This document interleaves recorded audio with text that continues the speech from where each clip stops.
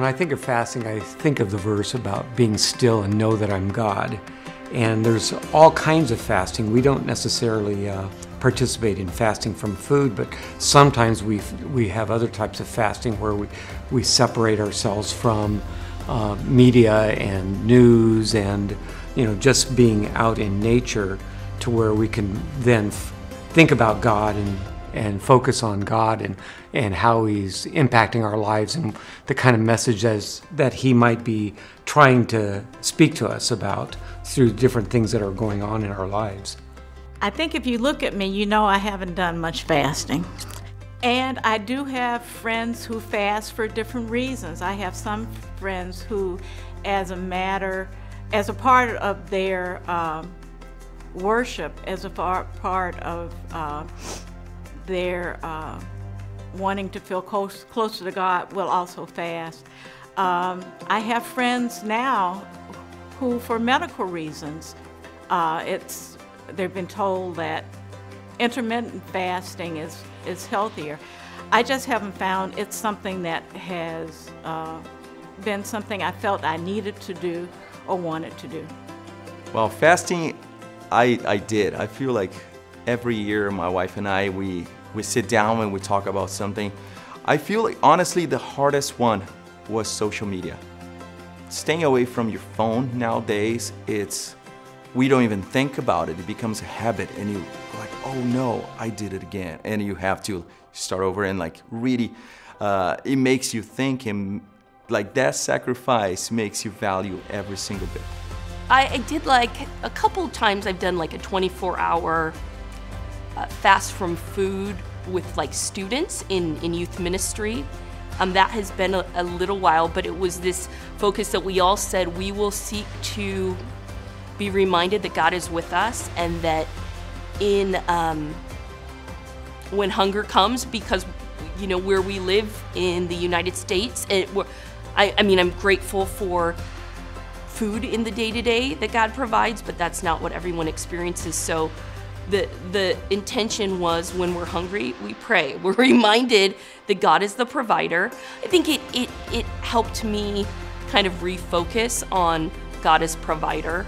Um, I think it, we can take for granted the day to day of things we have like water and food. Although we did drink water, but um, yeah, I I think I'm used to some of the comforts of life. So fasting for 24 hours was not easy for me, and yet I think it's necessary. Um, I've fasted from like social media as well at different seasons just to take a break. There's a lot of noise, and though I think it's a great means to communicate and celebrate and cheer on friends, um, I think there's so much noise, and I, I seek to be focused on God, my family, and others, and I think it, it can be a distraction. So um, there have been times where I fasted from that and then I come back kind of recharged, just investing my time, seeking to invest my time in things um, that are really worthy. Yes, uh, I fasted something before when, uh, like, I give you an example. Uh, when my wife is going through a medical uh, problems, I I practice those things because I know it says in the Bible that when you're asking for God and if you fast, you know, um, God will hear your heart more. I don't know more because I know God will will hear you anyways. But it's a good practice as Christians to to, to do those things because um, it gives you your sacrifice. You you you giving something out of you that you normally do. Hmm, fasting. Um, yeah, I I've fasted from lots of different things. Uh, uh, you know, it really, if there is a desire that I have that's out of control, uh, fasting is a practice that can really help me rein that in and really communicate to my body that my spirit's in charge, the desires aren't in charge. So, food, for instance, of course, uh, is if my appetite and, and, hunger is driving me to where I'm eating way more than I want to, uh, uh, I can enter into a time of fasting where I'm trusting God, I'm leaning upon Him and uh, His ability to meet my needs, and I'm denying my uh, appetite And by denying the appetite, I'm training uh, my body to be surrendered to my soul and spirit under uh, the headship of Jesus. I fast, uh, I try to fast at least uh, once a month for a day, and in that fasting, I'm uh, uh, focusing on feeding uh, my soul, my heart, my spirit, uh, in, with the words of Jesus, with uh, the sense of His presence. Um, my my hunger, you know, is is is yelling at me, feed me, feed me, and I'm saying, no, uh, Lord, help me resist this uh, appetite, this hunger, this drive within me. Uh, instead, to be satisfied in who you are and your presence with me. Well, welcome back to week two of Building a Resilient Faith. I hope last week's discussion on prayer encouraged you to spend more time in dialogue with God and showed you that it's not reserved for the elite.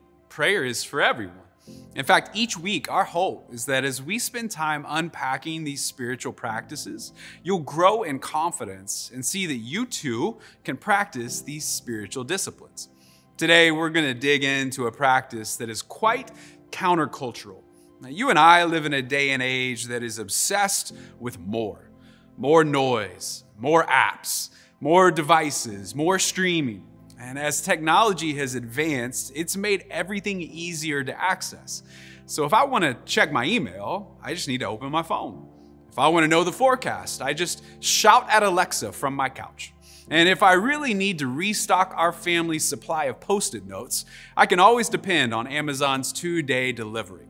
I can have pretty, pretty much anything I want exactly when I want it. But today, we're going to talk about the discipline of intentionally choosing less. Let's talk about fasting. Fasting is the intentional choice to go without something for the purpose of connecting with God. Fasting is more than simply stopping something.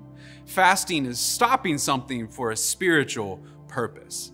Did you know that the Bible refers to fasting 77 times? As a point of reference, the Bible talks about baptism 75 times.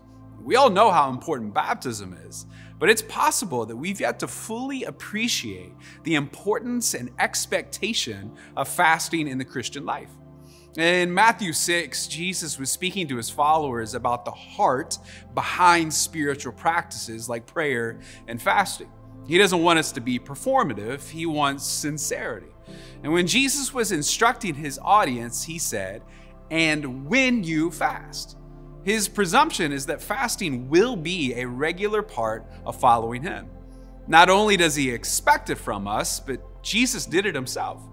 As Jesus was preparing for his public ministry in Luke 4, he fasted for 40 days in the desert. Jesus fasted in a season of preparation.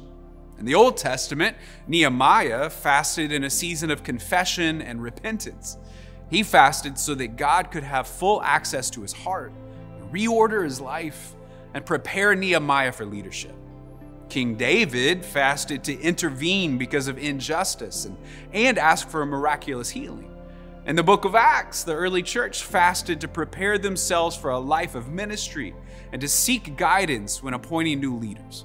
Fasting is when we intentionally give something up so that we can humble ourselves before God and He can have our undivided attention.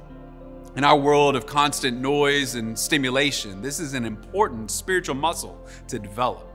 Now, the examples of fasting in the Bible revolve around food people would intentionally not eat to remind themselves of their dependence on God and commit their attention to Him. But there are different versions.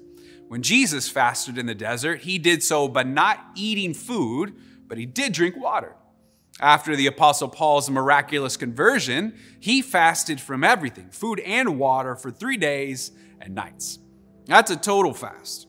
Then in the book of Daniel, we see Daniel fast from certain rich foods and wines. That's called a, a partial fast. In our modern society, some Christians have taken uh, technology or entertainment or social media fast. Our devices and screens are constantly screaming for our attention. And by intentionally choosing to abstain from that engagement, it gives us more head and heart space to engage with God. All that shows us is that there's not one right way of fasting. The important thing about the fast isn't necessarily the type you choose. The most important thing is the reason you're fasting in the first place. It's about our heart.